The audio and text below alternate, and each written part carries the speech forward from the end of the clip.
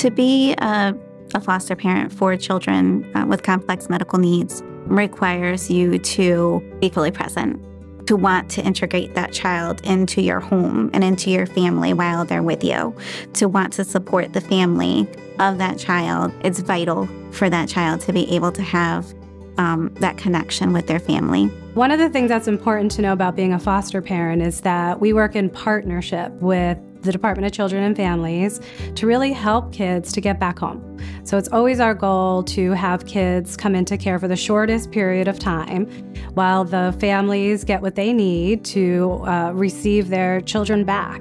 It is critical for children to be able to grow up in a family environment, in a home environment, due to the fact that the alternative is a, a clinical environment. And we have seen the results of that. Um, we see them struggle with social emotional issues.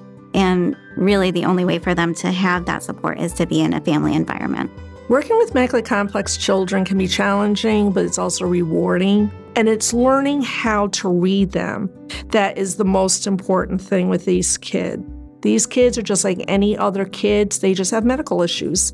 It's just amazing that these kids are so resilient and so tough and it just warms your heart working with them. The village provides really intensive support services to families who are willing to support some of Connecticut's most vulnerable children. We offer training both before you become licensed and then throughout the time that you are licensed. We have support workers who develop really good, close relationships with families and providers. Now more than ever, families are struggling and uh, so are kids. And so, what we need most are our families willing to be open to learn more, open to developing partnerships with us, and open to taking a chance on a kid.